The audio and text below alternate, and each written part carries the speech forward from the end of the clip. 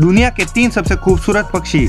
Number one wood duck wood duck नाम का ये पक्षी नॉर्थ अमेरिका के जंगलों में पाया जाता है। ये खूबसूरत पक्षी अपनी खूबसूरती से किसी का भी मन मोह सकता है। इस पक्षी की खासियत ये है कि पानी के अलावा भी ये पक्षी पेड़ में सुरंग करके अपना घर बना लेता है। Number two keel bill toucan इस रंग बिरंगी लंबी चोंच वाले पक्षी का नाम कील बिल टोकन है। ये पक्षी ज़्यादातर साउथ अमेरिका और साउथ मेक्सिको में पाए जाते हैं।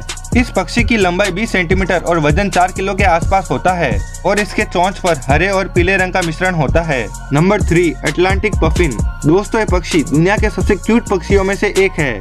ये देखने में बिल्कुल खिलौने जैसा दिखाई देता है। ये पक्षी ज़िंदगी का ज़्यादातर समय समुद्र में ही बिताते हैं। वैज्ञानिकों के एक रिसर्च के अनुसार इस पक्षी की आयु 20 साल से भी ज़्यादा होती है।